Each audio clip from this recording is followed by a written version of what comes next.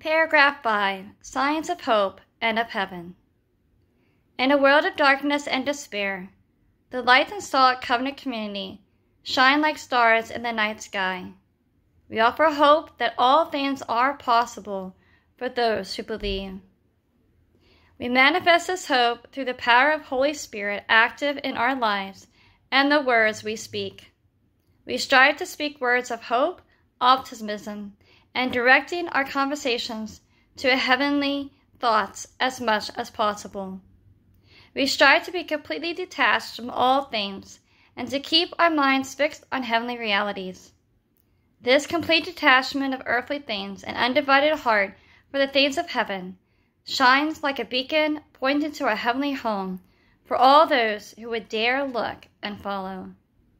Above all, it is the love outpoured onto souls as a holocaust of love and grateful heart that attracts souls to come and see the joy we share.